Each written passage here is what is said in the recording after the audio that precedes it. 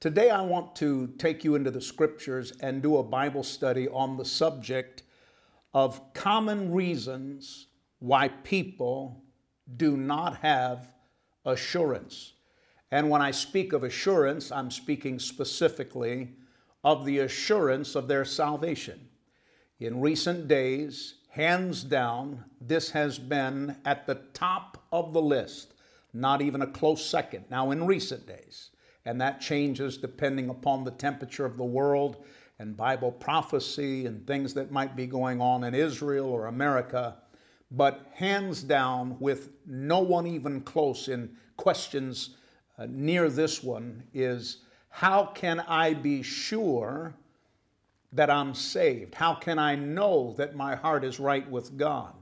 Can a person really know that when you die, you go to heaven? Is there really a heaven? Is there really a hell? Many of these questions that are coming in focus around what I would call the subject of assurance.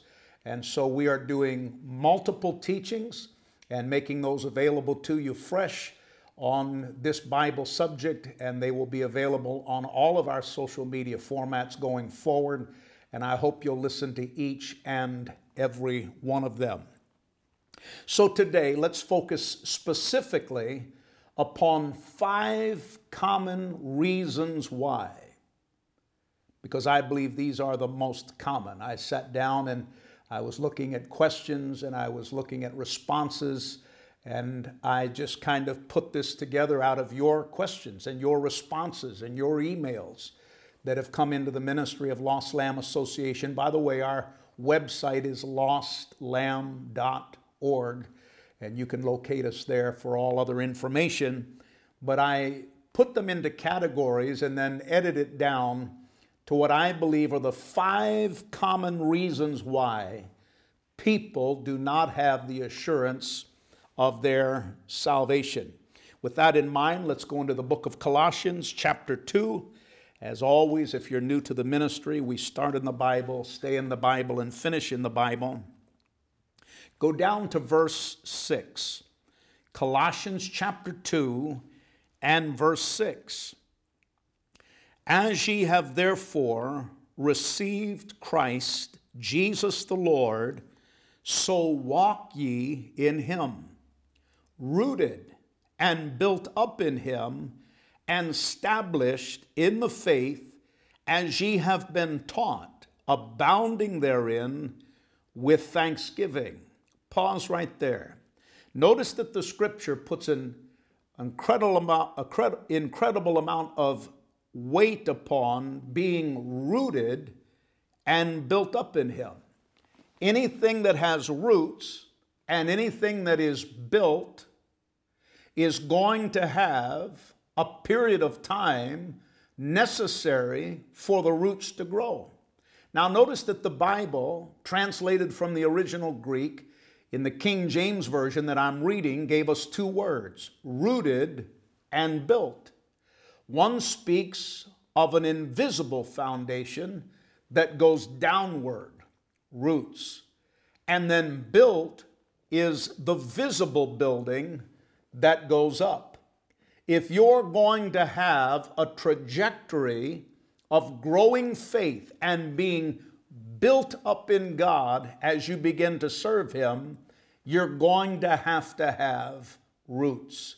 You can't have one without the other if you're going to have long term, satisfying, productive, and fruitful faith. Both roots and building. Let's read on, verse 8. Beware lest any man spoil you through philosophy and vain deceit, after the tradition of men, after the rudiments of the world, and not after Christ. For in him dwelleth all the fullness of the Godhead bodily. And ye are complete in him, which is the head of all principality and power, in whom also Ye are circumcised with the circumcision made without hands, in putting off the body of the sins of the flesh by the circumcision of Christ. Verse 12. Buried with him in baptism, wherein also ye are risen with him through the faith of the operation of God, who hath raised him from the dead. Let's take a moment to pray. Heavenly Father, once again, as we open up the Holy Bible, uh, we look to you and we humble our hearts in your holy presence, and we thank you that by the Holy Spirit you lead us and guide us into all truth. I humble my heart not only before you, but before this audience of people that you're drawing in from all over the world in unprecedented numbers. And I pray for them today. My prayer is that for all who have received Christ, that they will continue to grow in their faith, to be both rooted and built up in an ongoing relationship with the Lord Jesus Christ. I pray that a holy hedge of divine protection would surround each and every one of them, and that nothing in this world would separate them from their walk with God. May they have a spirit of never give up. And I pray that they would each one be ready for the soon coming of Christ. I pray that you will help me to help them to better understand what it means to have the full assurance of salvation, to know that you know that you know that you have peace with God and that it is well with your soul. I pray for all of those that you're sending our way who don't have that faith and are searching and looking for spiritual answers. When the invitation is given in the moments to come at the end of this teaching for people to turn from sin and turn to Christ, I pray that you'll give to them the faith and the courage and the humility to do what they ought to do, to receive the forgiveness that is available through Christ alone. And we'll be careful to give you the praise and the honor and the glory. I ask you to lead me and guide me. Let the words of my mouth and the meditations of my heart be acceptable in your sight. And we pray it in Jesus' name. And by faith, we receive it and call it done. And all God's people said, Amen and amen. In all of my many years of ministry and helping people find peace with God, this is a common struggle. I want to mention that right in the infancy of our time in the scripture and our time studying together, because I don't want someone to feel that if you're struggling with the assurance of your salvation and you have doubts and concerns and you still lay your head to the pillow at the end of the day and you think thoughts like, What if I'm not right with God? What if I were to be left behind? What if this is all an illusion? What if this is all an emotional response? And all of the questions that you may be wrestling with, I don't want you to feel that you're alone. Almost every single person who comes to Christ biblically and sincerely they still wrestle with many doubts and concerns. Even when people have sincerely turned from sin and turned to Christ, they struggle with the wondering, Am I really saved? I had a man many years ago in a church come up to me. And when he came up to me, I had spoke at that church several times. And so I knew him. I knew him by name. He was actually on the board of that church. And after the service was over and most people had left, he came up to me and said, Can I speak to you privately just for a moment? We stepped aside from those that were nearby, and his eyes welled up with tears. And I think he was mid 70s, maybe early 80s. I'm not really sure. But with tears in his eyes, he said, I'm embarrassed to say this, but as I'm getting older and I realize that one day I'm going to stand before God, I struggle with Am I really saved? Am I really right with God? Now, this man, to my knowledge, is one of the most gracious Christian men that you'd ever meet. Faithfully served the Lord, loved the Lord with all of his heart, was a humble man, a godly man, well respected. There would be no reason for anyone externally to look at this man and think for one single moment that down deep inside internally, he was still struggling and not really sure of his salvation. And so, this is not only a common problem with people that are newly saved, this is not just a problem with people who have just recently found faith in Christ. This is a problem that many people struggle with even after decades of serving the Lord. And so let me lay out for you where we're headed because in today's study, I'm going to focus on what I believe are the five most common reasons why people struggle with their salvation.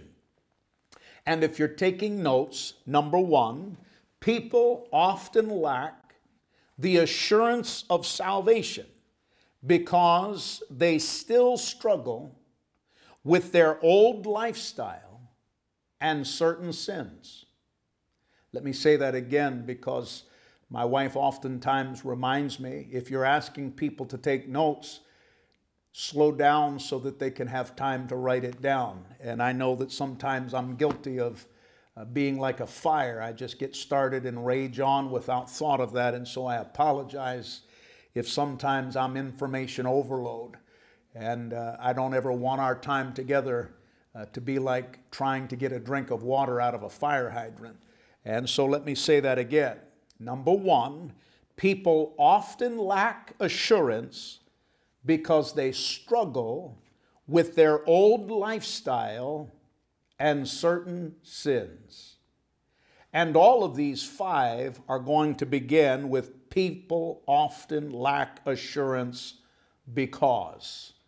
They'll all five begin with that. People often lack assurance because, number one, they struggle with their old lifestyle and certain sins. Let's go into the Bible, into 1 John, 1 John chapter 1, and verses 5 through 10.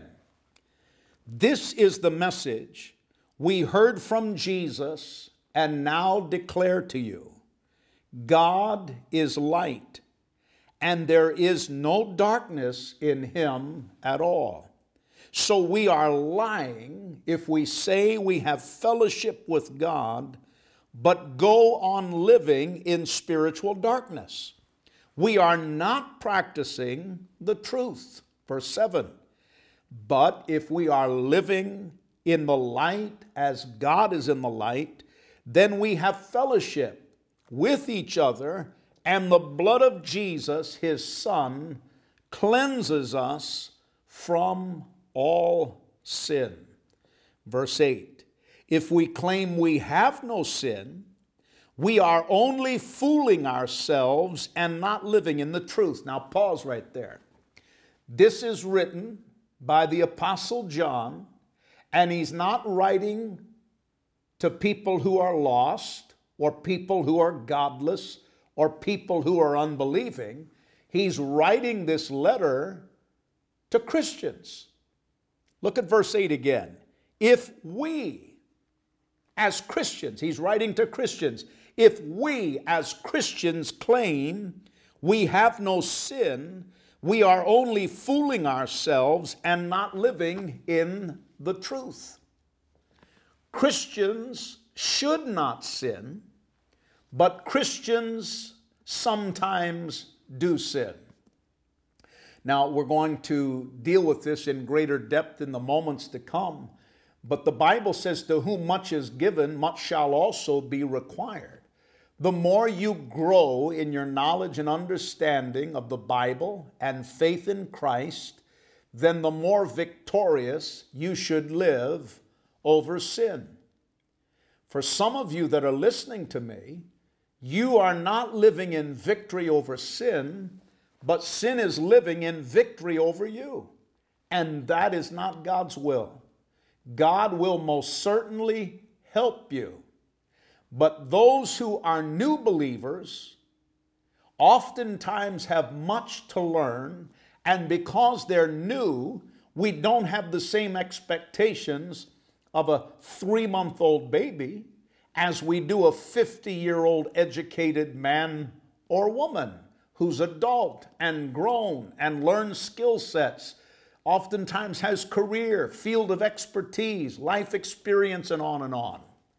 Neither does God, though He has the same standard for all, He does not have the same, listen carefully, He does not have the same mercy with those who, whom have been given much. There is more mercy available to the new believer than to those who are willingly practicing sin after serving the Lord for years, decades, and so on. To whom much is given, much shall also be required. And just as a newborn baby does not have the life experience and the skill sets and the knowledge and the IQ and the development and so on as a full grown adult, so it is in the infancy of your faith. Some of the sins, some of the mistakes, some of the frailties that you're going to experience are going to come out of ignorance. You just have not yet been taught. And because you've never been taught certain things, God will be merciful to you. We'll get back to that. Verse 8 If we claim we have no sin, we are only fooling ourselves and not living in the truth. Verse 9. But if we confess our sins, again, he's speaking to believers.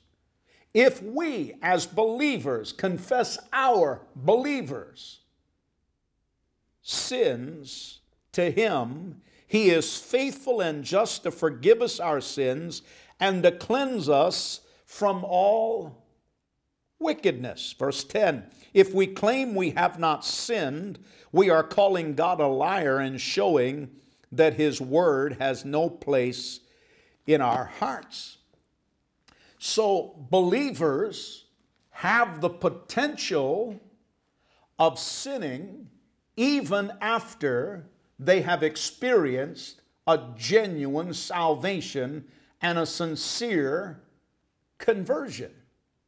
Christians are not perfect. Now, do we use the grace and the mercy of God as a license to sin? The Apostle Paul put it this way Should we continue in sin so that grace may abound? God forbid. Don't ever forget that the standard of God is perfection. He said, Be ye holy, even as I am holy.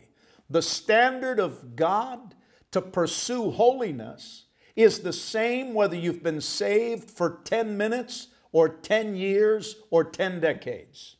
The standard is the same. The bullseye on the target is the same for all. He asks us to live a holy life. But when you fall short of the mark, and when you sin, don't give up on God because God is not going to give up on you.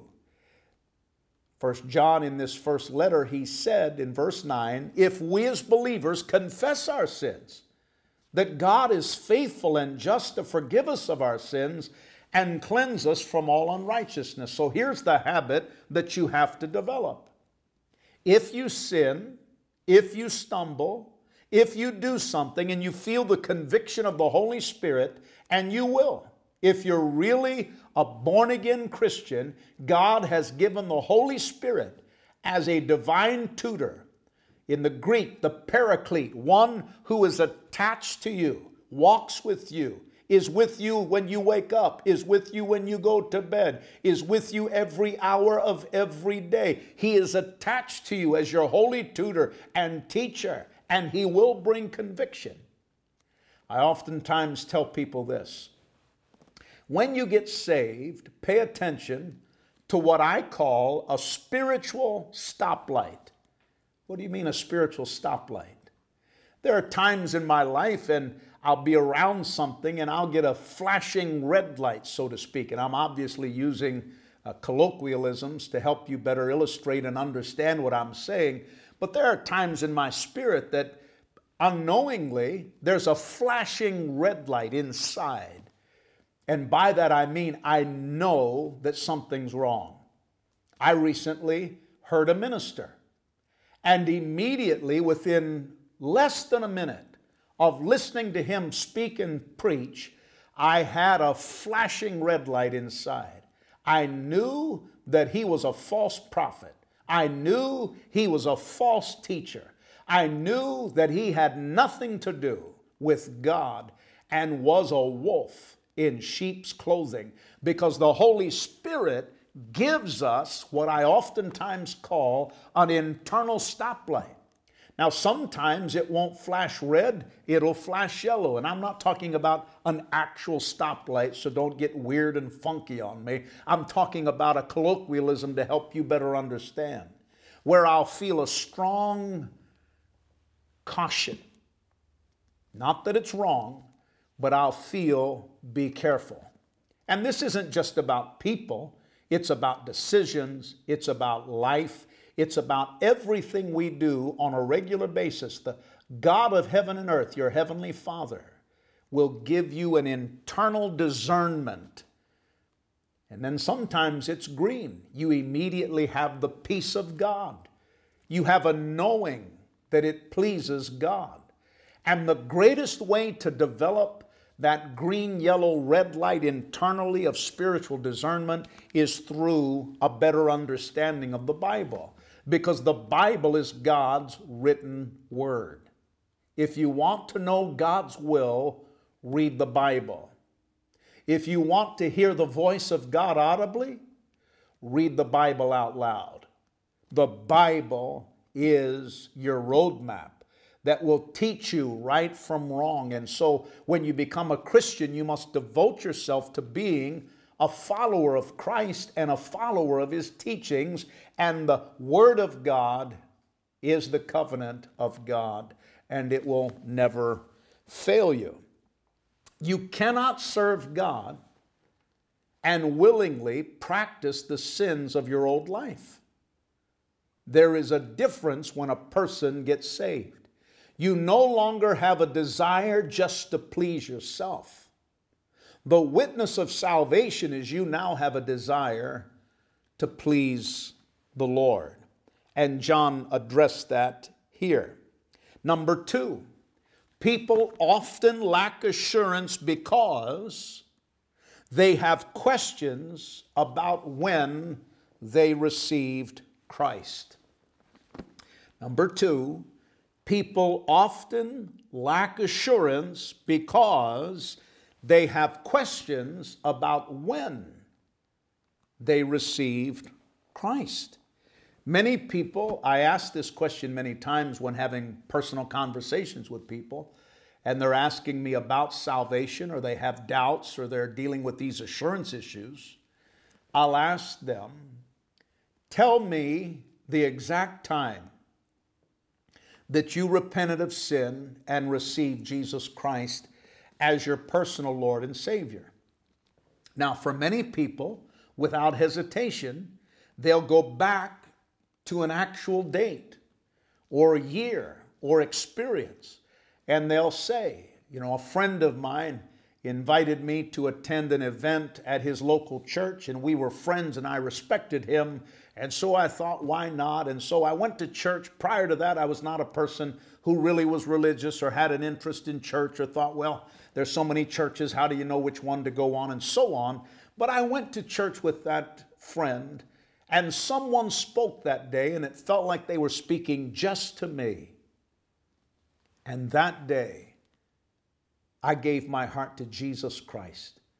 They gave an invitation and said, Would you like to receive Jesus Christ as your personal Lord and Savior. And by the way, we're going to do that today for the thousands that will be listening to this over the course of time.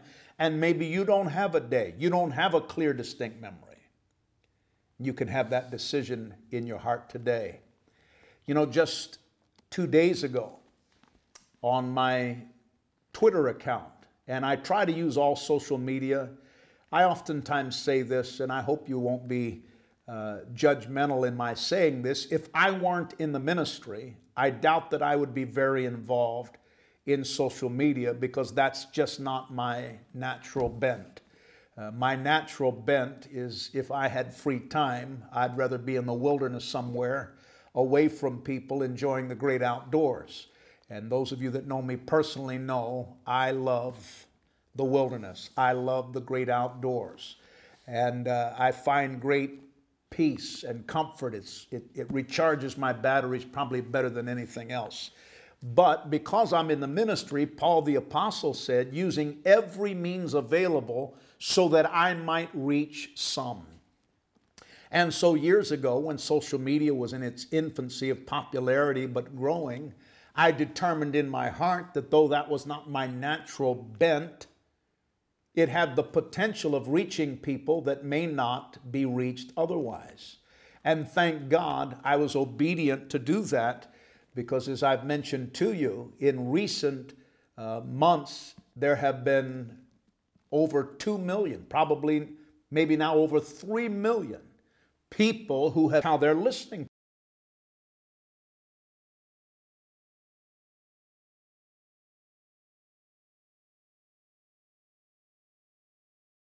to us.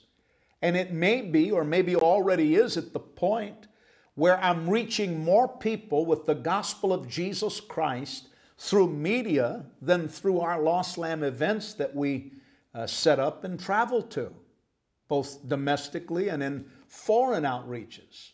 It's amazing. Just the other day, I got a private message on the social media platform called Twitter.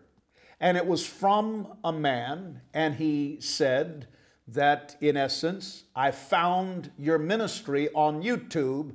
I wasn't even looking for anything religious, but came across you and clicked on it, and it piqued my interest, and I listened to it. And since I have found you, I've been binge watching your videos on YouTube. He said, This month, July 22nd, is my birthday. And I have made up my mind that on my birthday, I'm going to give my heart to Jesus Christ and repent of my sins. Well, I messaged him back. And I said, I'm so thankful that you've connected with me and thankful that you're listening and learning. But concerning giving your heart to Jesus Christ, on July 22nd, what if Jesus were to come on July 21st? And then I gave to him a scripture that the Apostle Paul wrote out of the book of Corinthians that says, Behold, now is the accepted time. Behold, today is the day of salvation. You can't get saved yesterday, and you can't get saved tomorrow. You can only get saved when your faith is now. Hebrews 11 says, now faith is, and it goes on to define faith, but you could accurately transfer that and say, not only now faith is, but faith is now. Faith is always a now decision. And so I responded to him with what I just shared. Well, yesterday morning, when I woke up, and I took time to check the responses of people on social media, which is taking more time than I have in recent days and weeks. But I saw his response, and his response was this He said, I showed that verse and your response. I think he said he was at his mother's house, and I think he said it was his aunt, the three of them that were at the table and someone opened the Bible and looked for that scripture, behold, now is the accepted time. Behold, today is the day of your salvation. And we read that scripture, and I thought you'd like to know that we all gave our hearts to Jesus Christ. You need to have the knowledge of the day that you have repented of sin and received Jesus Christ. And some of you that are listening to me will always struggle with your salvation because you don't have any foundational memory of when you did make that commitment. Let me give you another example. My wife Judy and I just celebrated our 42nd anniversary. And uh, we were married when we were young. I was only 20 years old. But I remember my wedding day. It was June 23rd, 1979, in a little town in southwest Pennsylvania called Washington, Pennsylvania. The church was actually in a smaller town called Houston, Pennsylvania, and the reception was in Washington, Pennsylvania, two small communities attached one to the other. But on May, or excuse me, June 23rd, 1979, I stood before God, family, and friends. I had graduated from Bible college in May, but on June 23rd, gave my heart to my wife in marriage. I'll always remember if someone asks me, Are you married? Well, I remember the day that I made that commitment. I remember the day of my salvation. I was actually only six years old, and I still remember certain details. My father was pastoring a church in a little town called Mount Morris, Pennsylvania. And there was an evangelist that he had in to speak at the church. His name was L.K. Dodge. He has since gone home to be with the Lord. I don't remember his sermon, I don't remember his doctrine and his theology. But I remember in my mind something that he said even today, all these years later. I remember him saying something like this Your father may be a wonderful Christian, but that doesn't mean you're a Christian. Your mother may be a wonderful Christian mother, but that doesn't mean you're a Christian. Every person must personally repent of sin and receive Jesus Christ. Now, I was only six. My father was the pastor of the church. And so when he said, Your father may be a wonderful Christian, my father was sitting on the platform behind him in a chair as he was speaking in the pulpit. When he said, Your mother may be a wonderful Christian, my mother was sitting over by the piano because she played the piano. But when he said, You must personally make your own commitment to Christ, at the age of six, I thought, I want to do that. And that night, when that evangelist gave the invitation to receive Christ at the age of six, I went forward and knelt at the altar with others and gave my heart to Jesus and committed my heart to Him. People oftentimes say, What kind of commitment can a six year old kid make? I made one that has lasted my entire life. Because when you receive Christ, something supernatural happens internally that's beyond you, that's beyond where you're at, that's beyond your past and beyond your weaknesses and frailties. And the Bible said in John chapter 3 Marvel not that I say unto you, you must be born again. And I remember the day that I was born again and gave my heart to Christ. Luke, the apostle that Jesus had selected, one of the twelve, in Luke chapter 12, he said in verses 8 and 9, he said, I tell you the truth, everyone who acknowledges me publicly here on earth, the Son of Man will also acknowledge in the presence of God's angels. But anyone who denies me here on this earth will be denied before God's angels.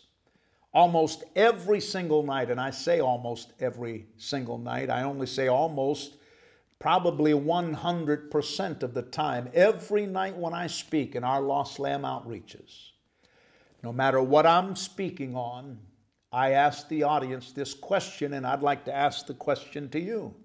And here's the question that I ask almost every night of my life.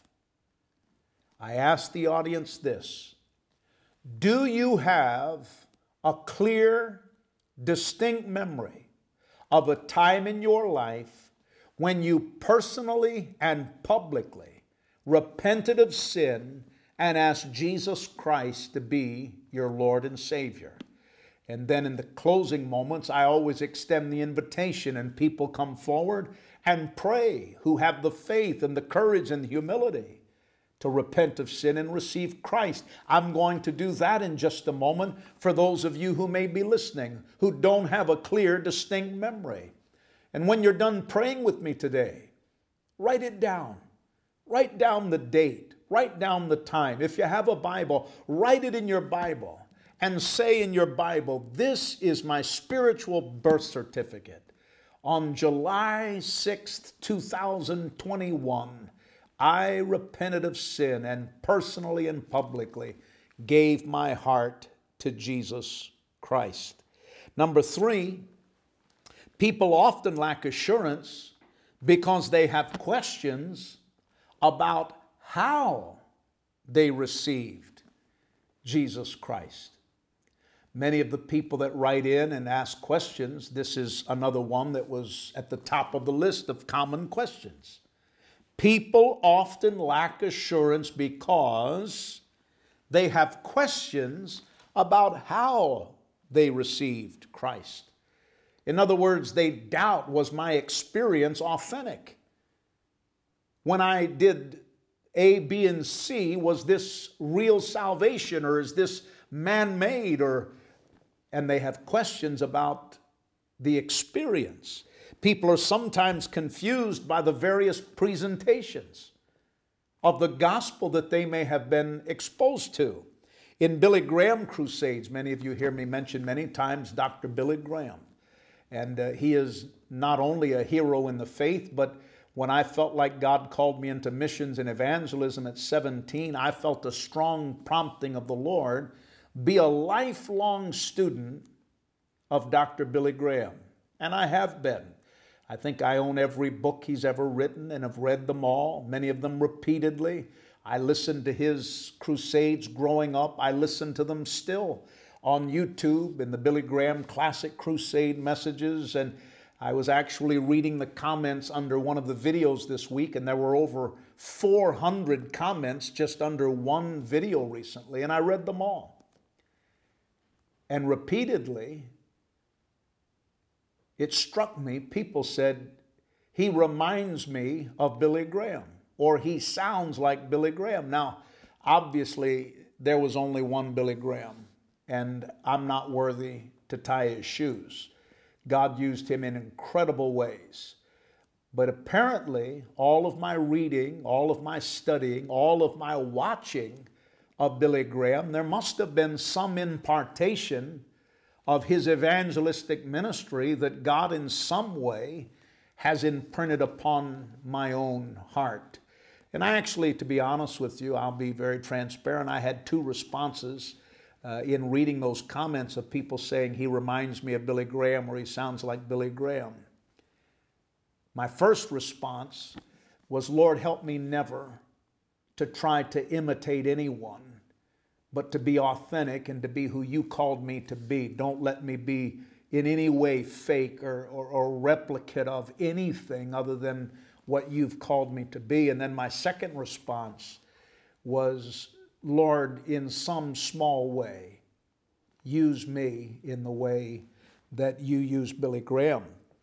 And in the Billy Graham Crusades, he invited people to come forward publicly and I do that in all of our Lost Lamb events because of Luke chapter 12, where I just read it to you. If you confess me publicly before men, I will confess you openly before my Father which is in heaven. But if you're ashamed of me, Luke went on to say, if you're ashamed of me before men, I'll be ashamed of you before the Father and the angels. Billy Graham used to oftentimes say, There's something about doing it publicly that seals it and makes it sure.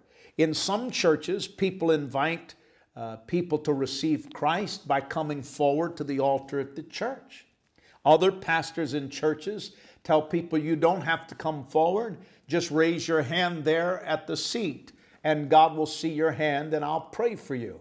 Other pastors say you don't have to come forward, you don't have to raise a hand, we're not going to embarrass you. Just think it in your heart, and God knows your thoughts, and I'll include you in my benediction prayer. Other pastors have other methods, and some people have prayed a sinner's prayer, maybe with a minister on television or a, podcast channel. More and more, we're seeing this through our own ministry as hundreds of people are responding and saying, I received Christ watching you on YouTube. I received Christ watching you on Facebook. I received Christ after listening to your podcast channel. I received Christ after following you on Twitter and so on. God is using many means of reaching people all over the world. But the problem is because people have seen so many methodologies, they oftentimes have doubt about their salvation because they wonder should I have done it this way or should I have done it that way or should I have done it the way Billy Graham did it or should I do it the way Pastor so and so did it or should I do it the way that Brother Shuttlesworth taught. Here's what I want you to remember. To be really saved, and by the way, we'll come back to this. God knows your heart. But the Bible says in Romans 10, verses 9 and 10, that if you believe in your heart that God raised Jesus from the dead and confess with your mouth that Jesus Christ is Lord, that you're saved. You can't do those things without experiencing the first step into the doorway of having peace with God. We'll come back to that in greater detail. Number four, people often lack assurance because they have questions about what does it mean to receive Jesus Christ. In other words, people say things like one question that came in I sincerely want to be a real Christian, but what do I do now? Somebody wrote and said, Do I need to attend a certain type of church or belong to a certain type of denomination to be a real Christian? Somebody wrote and said, what translation of the Bible should I read? Somebody wrote and said, Once I pray the sinner's prayer with you, is that all there is? Somebody asked this question Did my prayer of salvation come with an unconditional guarantee? Somebody asked this question Why are there so many different views on salvation on the internet. And so misinformation and misunderstanding cause people to have questions, and questions give birth to doubts, and doubts give birth to a lack of assurance. They have questions and wonder did I do it the right way? What does it really mean to receive Jesus Christ? Forget about methodology. Forget about how a certain denomination does it. Forget about how a certain preacher does it or a certain pastor does it or a certain ministry, including my own on social media, does it. And go back to the Bible. There needs to be a clear explanation. Your salvation is real not because of methodologies, but because of the sincerity of your heart when you prayed.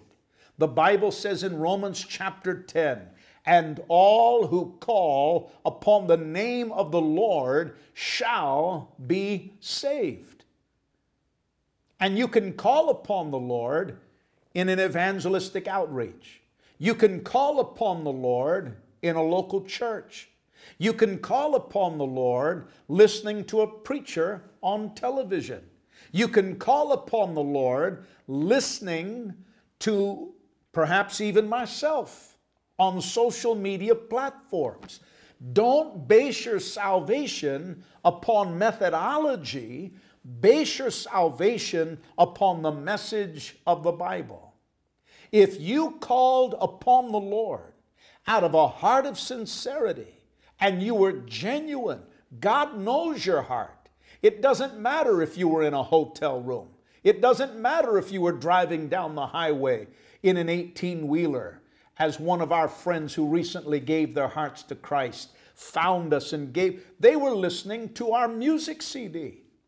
And in our last recording session in Nashville, in our album that some of you have called Timeless, in that CD and in that musical package of recording, I did something I've never done before. I told the producer, I said, I want to do a simple song that I learned as a little boy in Sunday school. The lyrics are into my heart, into my heart. Come into my heart, Lord Jesus. Come in today. Come in to stay. Come into my heart, Lord Jesus. And someone who's watching today, live, sent our CD to their brother who drives an 18 wheeler. And somehow, some way, as he was driving and listening, the Spirit of the Lord met him on an interstate highway. And if I remember the story right, he pulled into a rest area. And in a rest area, in an 18 wheeler on an interstate, he called upon the name of the Lord the best way he knew how. And God met him there and forgave him there and gave him newness of life. And his name was written in the Lamb's book of life. God doesn't necessarily need a church. You don't necessarily have to be in a building with stained glass windows. You don't have to listen to a preacher in a long flowing robe with various degrees behind their name. You, through sincerity, can call upon the Lord. Don't focus upon the methodology, focus upon the message and your sincerity. Lastly, and I close with this many people struggle with the assurance of their salvation because no one ever explained to them what I call the primacy of the gospel. Now, if that confuses you, hold on. I'm going to conclude the study right now by explaining that to you, and then we're going to pray. Number five, many people struggle with the assurance of their salvation because they don't understand the primacy of salvation. Now, let me encourage you in one of our next upcoming teachings and times together in Bible study, I'm actually going to teach on this, and that will be the entire teaching. And so I'm going to be abbreviated in my comments here but it's so important that as I was writing and praying and studying, I thought as I was concluding my notes for our time together today, this is so vitally important. It deserves an entire study. And so there will be a study upcoming on the assurance of salvation based upon these wonderful things. How can I be sure of my salvation? I want you to write that down. And if you're listening now, probably within a week to 10 days, this teaching will be on our social media formats.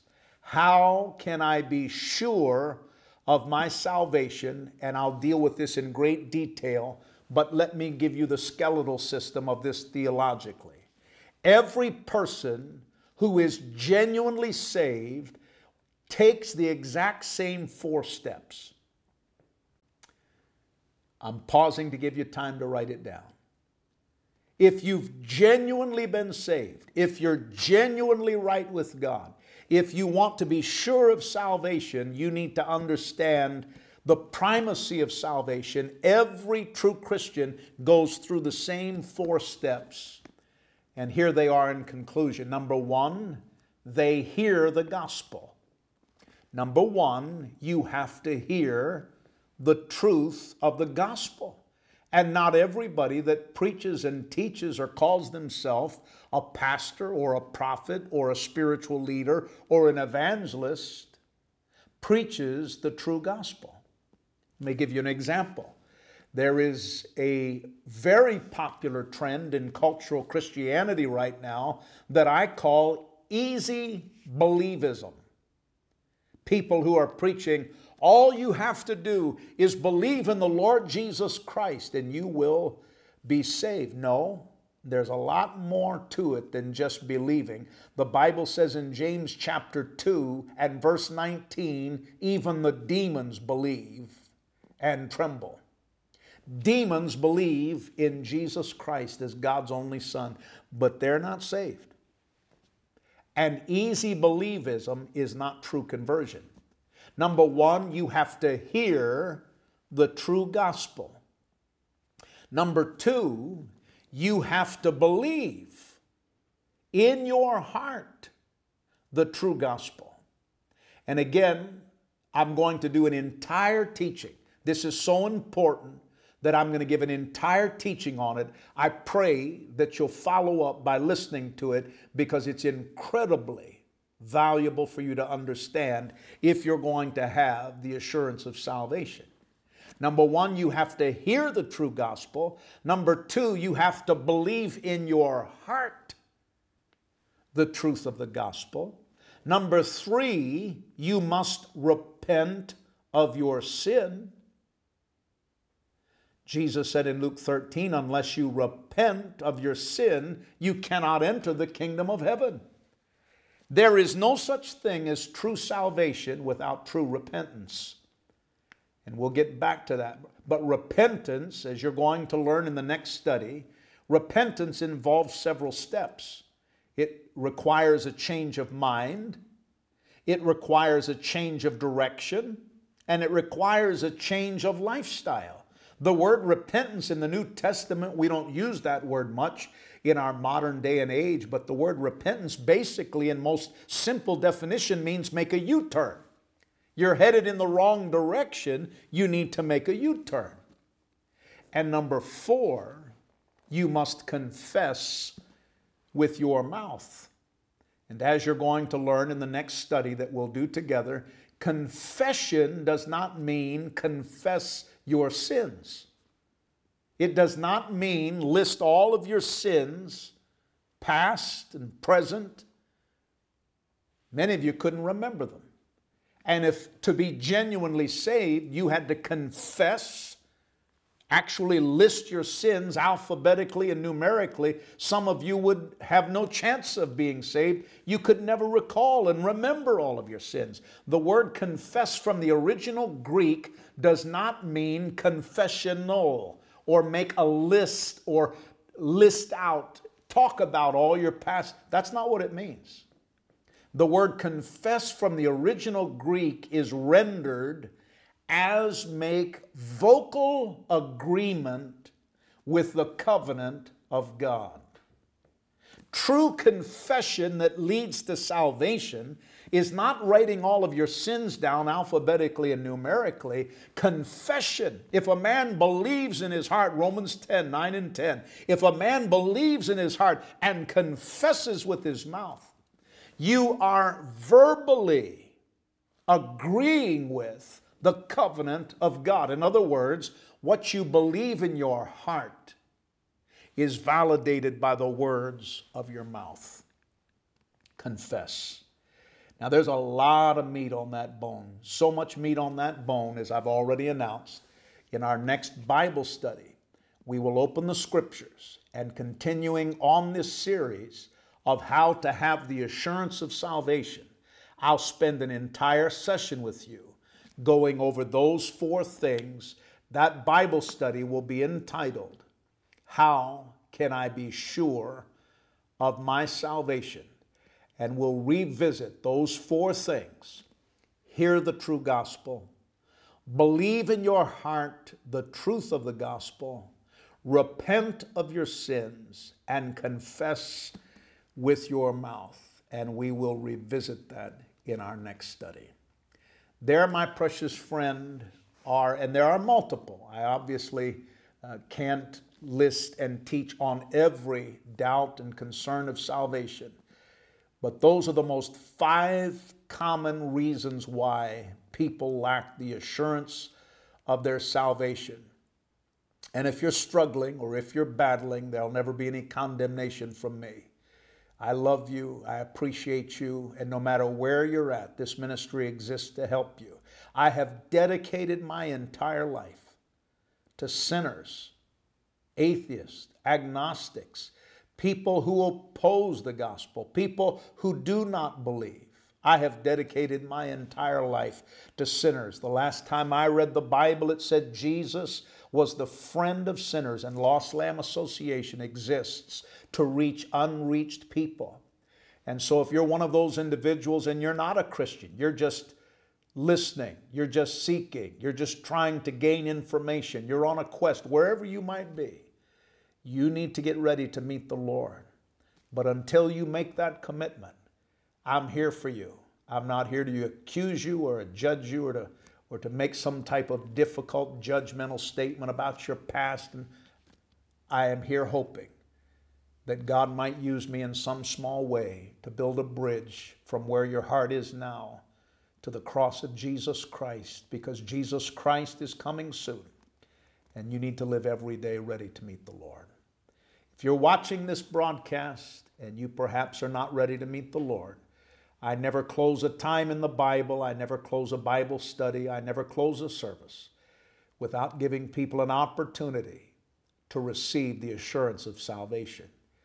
Today, you can truly hear the gospel. What is the essence of the gospel? The essence of the gospel in a very small thumbnail is this God by nature is holy, man by nature is sinful and our sinfulness separates us from a holy God. Thereby God gave his only begotten son, John 3:16, for God so loved the world, the sinful world separated from a holy God, for God so loved the world that he gave his only begotten son, that whosoever believeth in him should not perish, but have everlasting life. God doesn't want you to perish. That word perish from the original text means face judgment for unrepented sin. If you never repent of sin, you will meet a God of wrath and judgment according to the Bible. And God said, That's not my will. Hell was not prepared for the human race. Matthew and Jesus taught us that hell was prepared for Satan and the fallen angels. God said in 2 Peter 3 and 9, I'm willing none should perish. John 3:16, none should perish. But you have to make a choice. You hear the gospel, you believe in your heart, you're willing to repent of your sin and confess with your mouth. You're making a, an agreement, a verbal covenant of agreement with the truth of God. Will you do that with me right now in simple prayer? Wherever you might be. Some of you are thinking, Tiff, I don't know about all of this. This is new to me. People are writing us from around the world who have never seen a Bible and didn't even know what the book was that I was calling the Bible. Wherever you might be, there is no judgment, no shame. Wherever you're starting, God loves you. Sin has separated you from His holy presence and right relationship. But through Jesus Christ, Christ became the bridge between the holiness of God and the sinfulness of man. Today you can confess and believe and pray and start your journey with the Lord. Will you do that with me right now, wherever you might be, if that's your heart's desire? Pray with me. Today is the day of salvation. Not tomorrow, today, right now. Pray this with me wherever you might be. Father in heaven, today as I was listening to the Bible, you were speaking to me. I want to be a real Christian. I want to know that I have peace with God. I want to know that my sins are forgiven and forgotten. And so today I am willing to repent. In childlike faith, I turn my back on sin and I turn my heart to Jesus. I trust in the cross and in the blood that was shed that cleanses me from all unrighteousness. Come into my heart be my Lord and my Savior. I vow this day I will serve the Lord. I can't do that in my own strength. Fill me with the Holy Spirit and give me the power to be what I ought to be. Now, according to the Bible, all who call upon your name shall be saved, and not because of methodology, but because of the clarity of God's message. I have sincerely called upon your name and I am saved. I am no longer the property of sin. I am today a child of God, and I'll never be the same. In Jesus' name I pray. Amen and amen. If you prayed that prayer with me, number one, I'm so glad that you did, and I'm so proud of you, but it's not the end of what God's going to do with your life. It's just the beginning.